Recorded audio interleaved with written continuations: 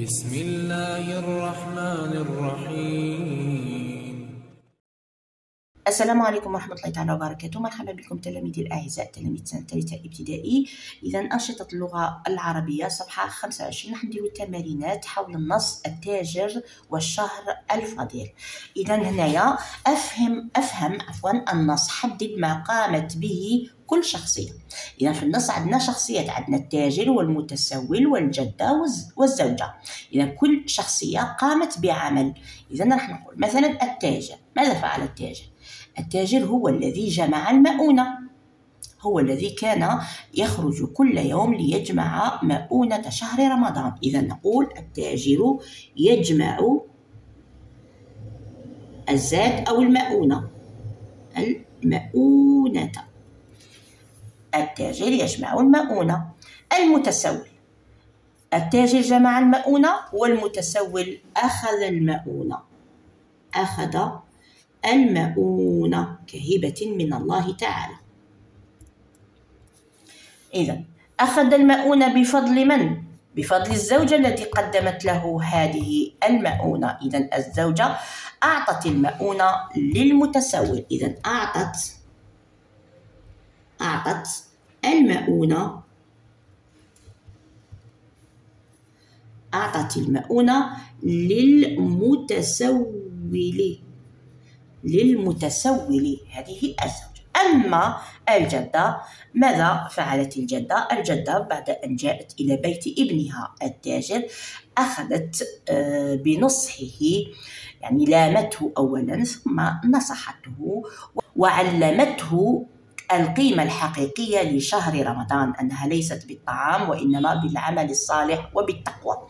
إذا الجدة نقول نصحت لامت ونصحت التاجر.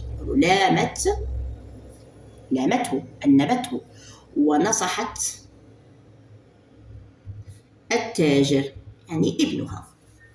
لامت ونصحت التاجر. إذن هذه كل الشخصيات شخصيات القصة يعني كل شخصية واش دارت؟ الآن أوظف جمع التكسير. حنوظف هنايا جمع التكسير. حول المفرد إلى الجمع وسطر تحت جمع التكسير. مثلا هنا.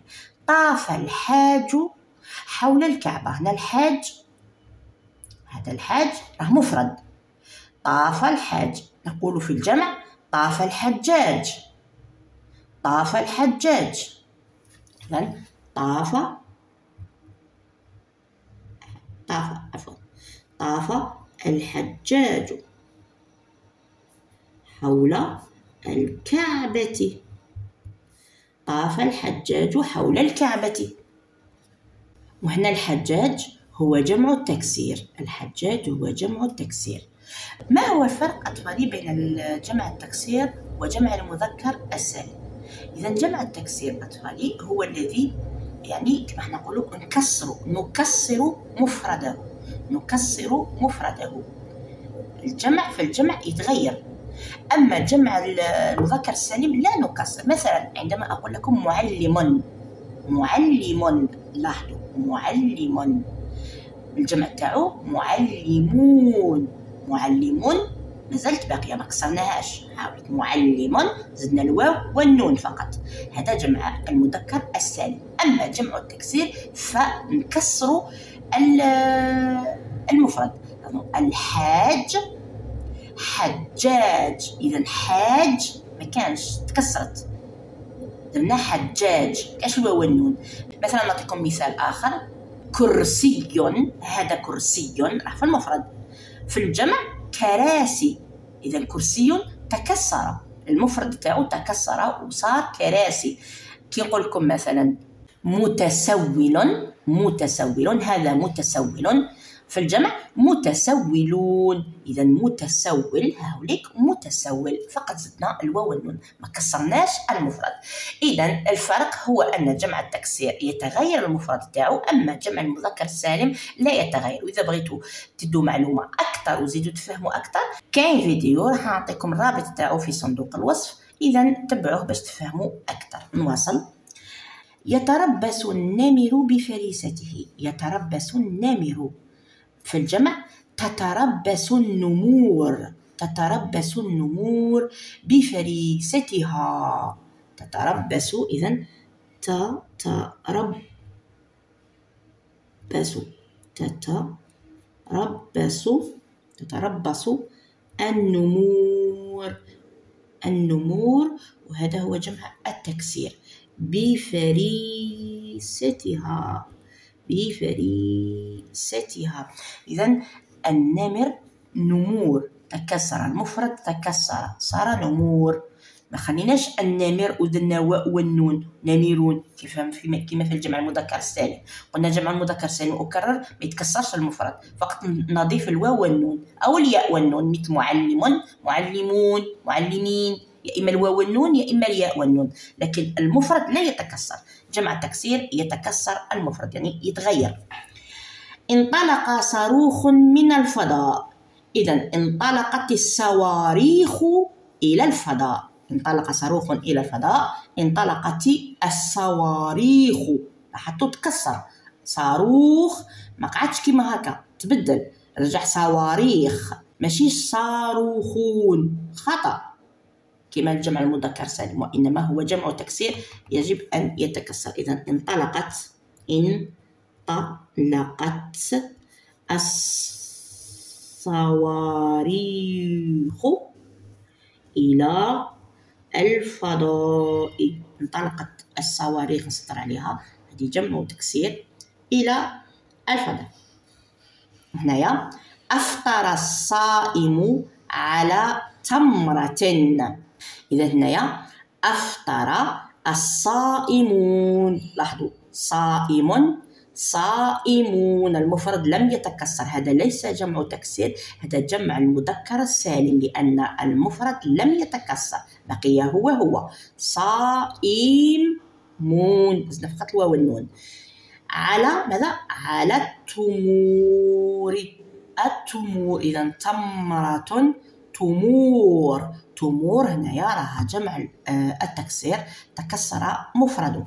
إذا أفطر أفطر الصائمون. صائمون. هذه ما سطرش عليها لأنها جمع المذكر السالم على التمور. التمور. التمور. راها جمع التكسير. هذه جمع التكسير. جيد. هنايا وصل الدراج إلى خط النهاية. وصل الدراجون هنا لم تتكسر. دراج دراجون دراجون إذا هذا جمع مذكر السليم إلى خط خط النهاية. إلى خط النهاية. إذن هنايا وصل الدراجون إلى خط النهاية. وهنايا ما نسطرش عليها لأنها آه، جمع المذكر السالم. هنا أيضا هنايا آه، كان من المفروض أننا ما نحولوهاش نقول أفطر الصائمون على تمرة وما نسطروش فقط على الصائمون لأنها جمع مذكر سالم. أما التمرة كان ممكن أننا ما نحولوهاش كان ممكن أننا إذا هذه الجملتين ما فيهاش آه، جمع المذكر السالم.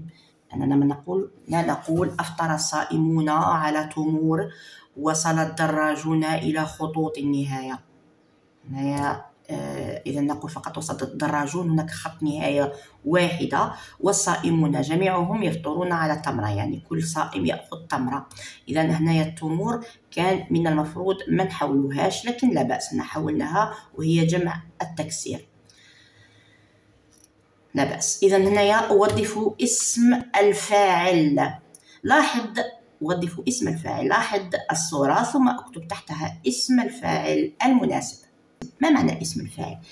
لاحظوا هنايا تنام البنت على سريرها. من التي تنام؟ من هي؟ البنت. البنت هي الفاعل هي التي تنام. إذا تنام البنت على سريرها. البنت نائمة. نائمة. نائمة. تنام البنت فهي نائمة. هذا هو اسم الفاعل. أو الولد هذا ولد. إذا نقول نائم. نائم. ينام الولد. نائم. نائمة. نائم. إذا البنت نائم. نائمة أم الولد؟ إذا كان ولد أظن أنه ولد. مانيش نشوف مليح. إذا نائم. هنايا. تسوق المرأة. تسوق المرأة. المرأة هي الفاعل. المرأة هي الفاعل. هي التي تسوق. إذا نقول المرأة ماذا؟ سائقة. المرأة سائقة. سائقة.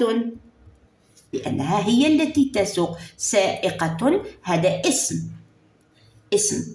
كل اسم فيه ضمتين أو فتحتين هو اسم. لاحظتوا؟ إذا هنايا سائقة تدل على أن هذه المرأة قامت بفعل السياقة هي تسوق. هذا اسم الفاعل. الفاعل هنا هو الولد الفاعل هنا هي المرأة وهنا هذا بائع. هذا بائع يبيع البائع يبيع. إذا نقول ماذا؟ بائع. بائع هو الذي يبيع. البائع يبيع الحلويات فهو بائع هو البائع. هذا اسم الفاعل. الفاعل هو البائع هو الذي يبيع. إذا هذا هو اسم الفاعل. جيد إذا خليكم في أمان الله. أطفالي إلى فيديو آخر إن شاء الله. والسلام عليكم ورحمة الله تعالى وبركاته.